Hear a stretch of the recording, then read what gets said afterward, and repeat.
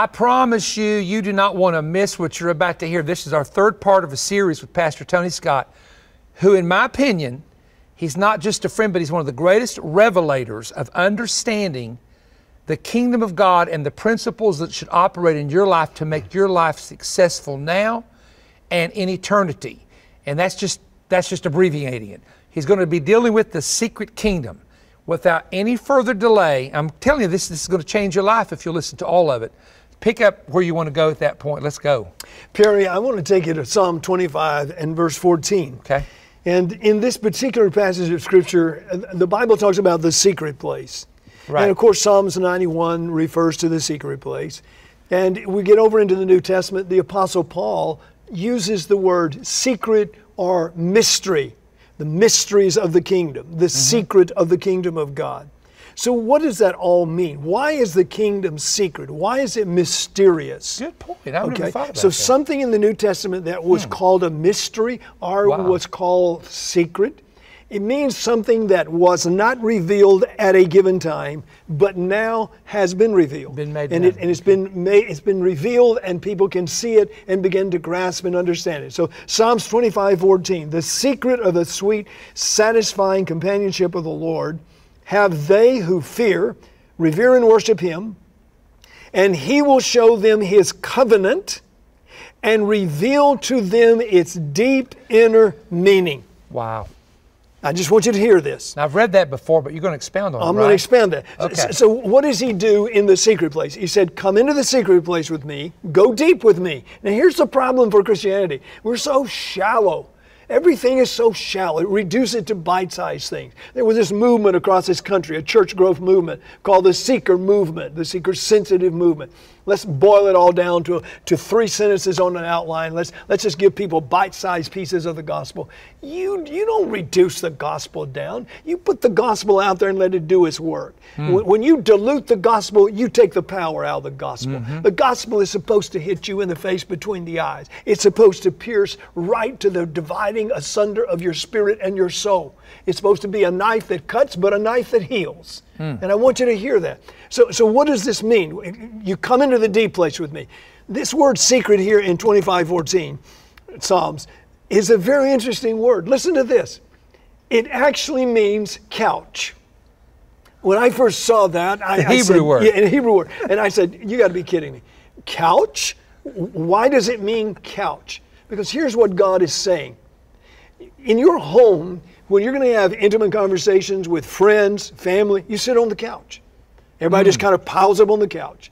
Right. And you have this personal time, this intimate time.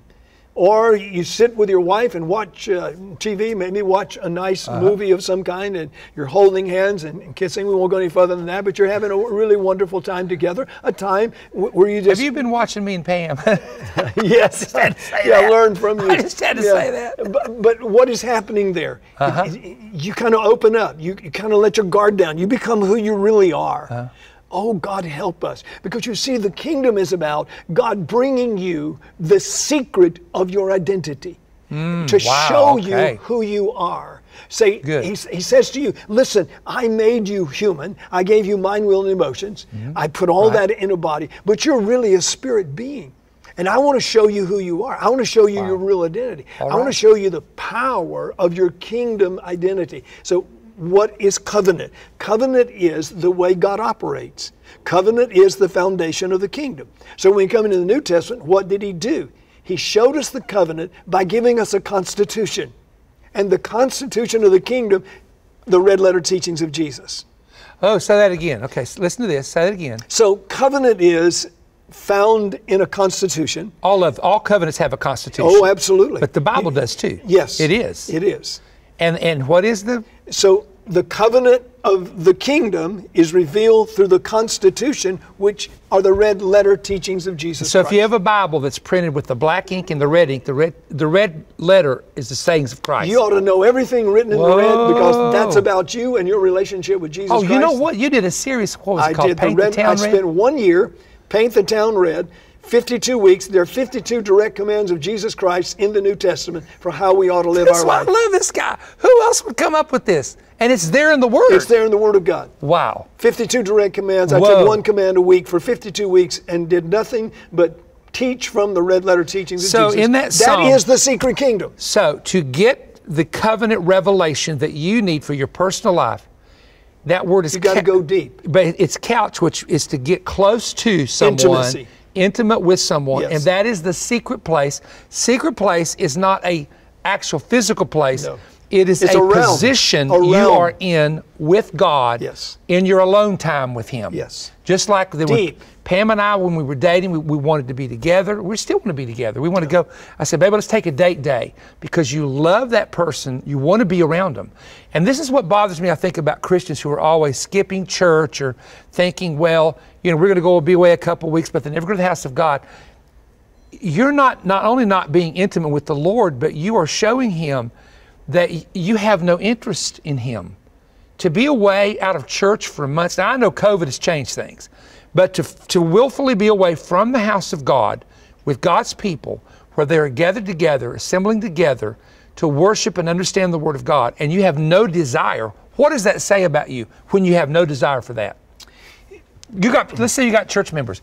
None of them, none of them come to church. They can't come. They will. They just, they just come when they want. What does oh, it? okay, what so- does it say about this person? So, what if in your marriage you never had times of intimacy where it was just the two of you behind closed doors and you experienced marital intimacy, which is biblical? Song of Solomon, go read it for yourself. Mm-hmm. Yeah, yeah. Uh, it, it, it's, let me use the word. Song of Solomon is an erotic teaching of an, a relationship between a man and his wife, and he says, This is the depth of intimacy I want you to have with Jesus Christ.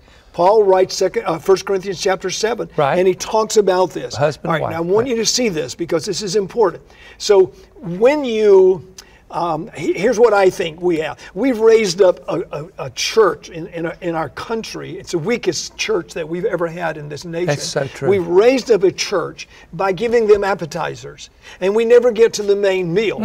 We never get Mm. Never to get the to depth of the Spirit. We never, Never. get to the intimacy of the Yes. Mm-hmm. Holy Spirit. You can't have intimacy until you're totally focused on the Lord Jesus Christ, and it's just you and Jesus Christ, and you're having intimacy with the Holy Spirit. And there is where He reveals the depth of his kingdom and he shows you his covenant. He teaches you his covenant. He said, This is how I want you to live. This is your life. This is the way you will overcome the world. Your body will be more healthy. Your mind will be more healthy. Your spirit will be more healthy. When you choose to live by my red letter teachings and when you choose to live in covenant with me, then this infusion of life will cause you to overwhelm your circumstance. And here's what I'm hearing in that that you going back to the natural than the spiritual if a husband and wife has no physical intimacy they never birth anything yes. so without the secret place in god without that intimate time with him you will never birth anything you'll not birth the answer to prayer No.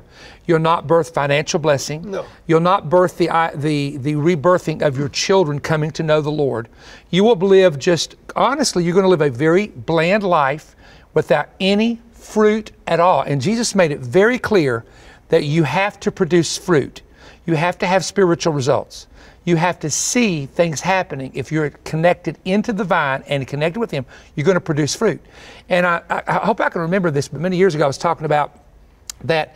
What if a husband and wife is always, well, we're just a fellowshipping right now. We're just a fellowship. Well, well church people fellowship all the time. But if you fellowship The Edomites. with a joke.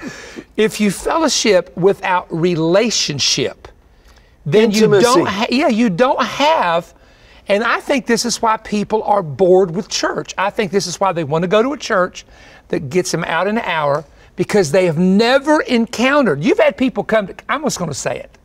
He's had people in ohio and if you if you live in northern ohio this is the church you need to go to. Let me just tell you it's pastor tony scott's church and i want to say it right mommy The church in Maumee. Ma- the church in Maumee, and there is Maumee. a Maumee, and there is a place. I get it mixed up. I advertised a Maumee. it's like no, Perry, that's not how you say it. It- it's an Indian and it's a word, great, Maumee. yeah, it's a great church. But he's had people come to his church who are now members, who are now are part of that body, who've said to him, "We went to a place to church, to a congregation that n- we didn't know what the anointing was. We never felt the presence of the Spirit of God." It was like a club, just a social club where you get, it's like going out to eat or something. And it stunned them when they could come into an atmosphere. Man, I feel the anointing talked about this and feel the presence of God. Because when you begin to feel the presence of God, that's that intimacy. When you met the woman that you married or the man that you married, a feeling became. You that that's how you knew you were in love. Feelings began to emerge. You begin you feel it in your heart, you feel it in your soul, you feel it deep on the inside. You want to be around them. And folks, we've got to get to the point where it's not about going to church but it's about going and getting into the presence of the Lord. And I'm The going secret place. the secret place. And I'm going to say this. I'm going to say this, and I hope it doesn't make anyone upset that I've ever no, preached let's for. upset some because, people. Let's get well, some people upset here.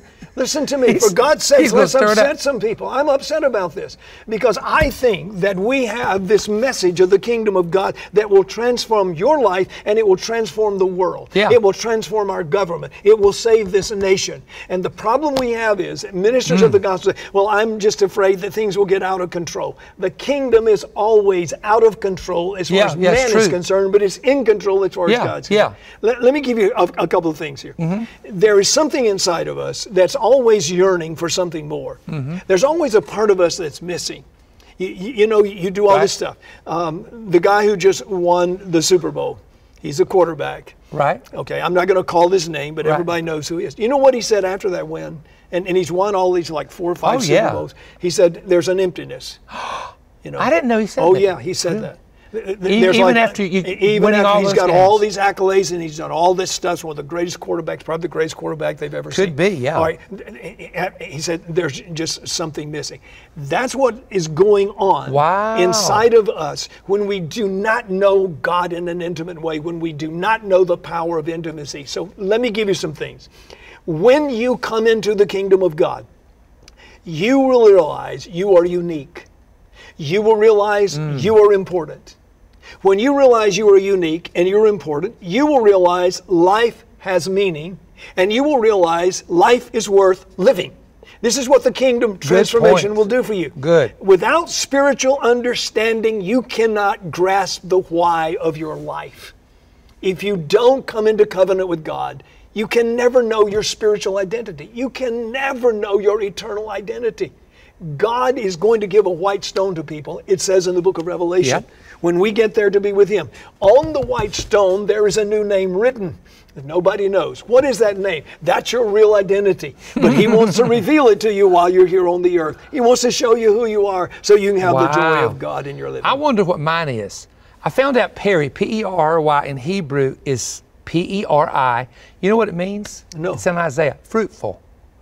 So I never, and I don't mean this negative. I was named and, after and, my and you've lived a fruitful life. Yeah, exactly. And so my name, what my, my, my daddy named me, which was his name, meant fruitful in the Hebrew language. And so God has allowed me to produce much fruit. And I thought that was very, I thought that was very interesting. So God left God left something inside of us of Him that would grow. So let's go back to the mm. garden again. I live All in the right, book of Genesis right. because if you understand the first two chapters of Genesis, you will understand life. I'm just going to tell you right now. You ought to live in the first two chapters. Wow. So, so back in the first two chapters, what did he do? He created man, scraped up the dirt of the ground, made a mud man, leaned over to heaven, breathed into his nostrils the breath of life. Spirit and soul came into the man at that particular moment. A unique spirit from God. So a piece of God a- or a piece of eternity came into man hmm. in the very beginning, into the first Adam and the first man, and it went throughout the whole generation of mankind. Hmm. There is a piece of God on the inside of you. So God designed us so that we cannot ever be fulfilled unless we are, ha- are having an intimate relationship with Him. We cannot be fulfilled. I just want you to get that. Then, the word eternity. It refers to a deep, abiding awareness of something that's outside the boundaries of our five senses. This is why I call it the secret kingdom. It- it- it's the mystery. There's something in the kingdom that connects with your spirit, that brings you into wholeness. You feel whole, you feel full, you feel well, you feel bold. So we are created by God as spirit beings, put here on earth to have a human experience. Listen to this Galatians 4:19. Paul says, You are my dear children, but I agonize in spiritual labor pains once again until the anointed one will be mm. fully formed in your hearts. Mm-hmm. God put us here to have a piece of Himself that He, by the revelation of His Son Jesus Praise Christ, God. would Wow. begin to reveal who we are. And as we grow in Jesus Christ, we develop the spirit of eternity. Mm. So wh- when, when, when we talk about eternal life, we're always putting that off until the day we die. Yes. Okay, but really, eternal life, once you're in the kingdom, is in you at that moment. We are eternal No, it doesn't, it, it doesn't now. mean it doesn't mean you're not going to physically die. We all it's appointed to be once to die, but that's physical death. Yes. So right now, I am an eternal being. Yes, I'm yes. not going to be when my spirit comes out of my body. When you I were, have listen, life now. before you were formed in your mother's womb, Psalms 139, God knew you and wrote a Mm. book about your life. Let me give you the Hebrew. It said, Before the sperm ever met the egg, and you were formed in your mother's womb, God knew you and wrote a book about your life. If you want to. Thank- everybody listen to this now. This is like mind boggling to Yes, me. It's one it of my is. favorite Yes, verses in the Bible. Before the sperm met the egg, and you were formed in your mother's womb, God knew you and wrote a book about your life. Now, my, my thing is, I said to God when I got hold of that, where's the book? I want to see the book. And He said to me, it's right here. You want to know who you are? Then you live in this Yes, book. sir. And I'll show you who you are. I'll bring you into your eternal being while you're here on the earth because you see, eternal living is just as important as eternal life. I'm to live eternally while I'm here, and then I'll get eternal life when I cross Wow. over. One of the things I think, because people, uh, ministers, young ministers especially, would come to us from time to time and they would say, What is, and, and this is just normal, what's the secret to the success? What's the secret to this? And you remember me when I was in a van Sure. and I didn't had nothing. I wasn't even married to Pam. And I think uh, I was preaching for you when I was dating Pam and You were. stayed on the phone all night. My phone bill was horrible. You remember those days. I do. Remember- I stayed in his house back then. So when I look back on the ministry, and I, I, I would say, I have someone come to me and they would say, Why has God done all this? It is this reason, and you've known me from the beginning. I have been kingdom minded and not denominationally minded. Yes. I respect the denomination I grew up with. They gave me the opportunity years ago in ministry. I love these older ministers. I love these men of God that are retired. I love talking to them. And like our friend Floyd Lawhon, Yes. Floyd recommended me to come to your church. Yes, he did. When he was the evangelist director of Virginia. So these are men I love and admire greatly. However, from the very beginning, they say, Boy, Perry's different. And I've heard him say, Perry's not a system man. Because in our particular denomination, there was a thing like get called, go to school, become a pastor, become an overseer, and then, then come And join a political camp. join a camp and end up in Cleveland. Well, I ended up in Cleveland, but not in that manner, you know. And I would say this to you that it was being kingdom minded. I started preaching in Church of God, Assemblies of God, Pentecostal Holiness, independent churches, charismatic churches, Baptist churches. And I just was wanting to build the kingdom. I, I hooked up people that were Baptists with Pentecostals. I hooked up charismatics with classical Pentecostals. That's what the kingdom is. The kingdom is everybody who has covenant with the Lord Jesus Christ, working together for the purpose of producing fruit in that kingdom, which are the eternal souls that need to come into that kingdom that are born again and build up the kingdom of God. Let me tell you two things. Mm-hmm. People are drawn to kingdom people. Have people that are drawn to me. 16 year old girl attending a seeker type church in our city for many years with her family came and visited our church because my granddaughter, Mackenzie, invited her. She came visit the youth group. And she came back on Sunday. And finally she said to Mackenzie, I'm, This is going to be my church. And Mackenzie said, Well, why did you make that decision? She said, At my church, it's all about me.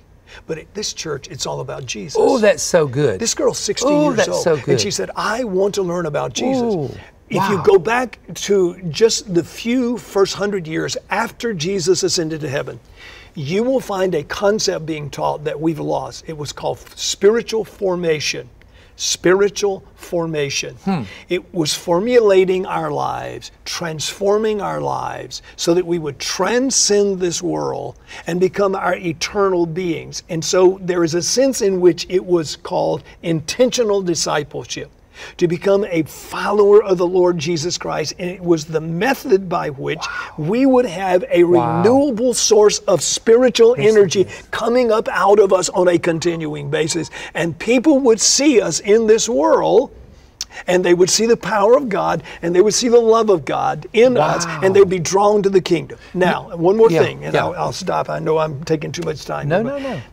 If Shirley were alive right now, and I wish she would, she would see this because she always said to me, "One day you're going to be on Perry's program," and I never told you that. No, you never have. And uh, It's all right. I, I wish you could see this. We had a spiritual oneness that, that people don't get. Let, let me tell you about the kingdom. It's, it's, it's spiritual oneness with Jesus. Uh, that's why we wrote the book. Shirley and I wrote it together. One plus one equals one. And I want you to get a copy of the book. Perry's been talking about the book. You must get a copy. Go to my website. Uh, it'll be on Yes. the screen there. But we were one because we understood how God was one. And that oneness of the Spirit was is what will bring the whole kingdom on earth together. And I just want to say, I read that book, and you've got to get this. It is something that, and we, we don't want to always use the word life changing, transforming, but when you understand what he's been teaching the past three weeks, you'll hear me. Kingdom principles operate in people who believe them and act upon them. It's not a matter of getting information, it's a matter of getting revelation. And the revelation can change your situation. And we're going to do another program uh, next week. What's next week's program? It's a We're going to talk about the upside down life because that's what the kingdom I is in this world. I love It's, that, it's I love that down. title. So don't miss it now. I have a special offer. I want you to get this. You're going to help keep Manna-Fest on the air. Don't forget this. Without your help, we don't stay on the air. And so if you want us to continue on the air, get the offer, and then I'll be back sharing with you some exciting news of things that's coming in the very near future that you can be a part of.